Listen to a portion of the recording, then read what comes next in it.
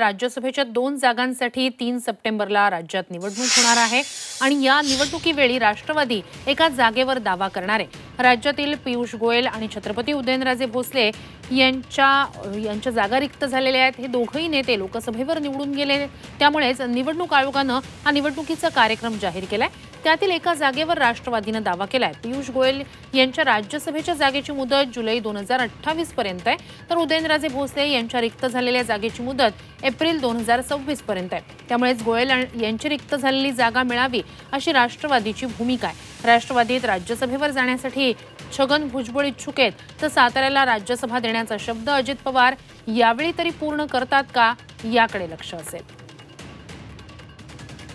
राज्यसभेच्या दोन जागा भाजपकडे आहे ज्या खरं करून म्हणजे राज्यांची एक जागा आहे आणि प्रधानांची एक जागा आहे. तर ती कुठेतरी एक जागा ही अजित पवार गटाला देईल अशी चर्चा होऊन होईल निश्चितही होईल.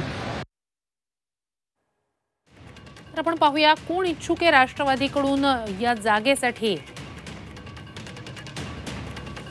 तर छगन भुजबळ आणि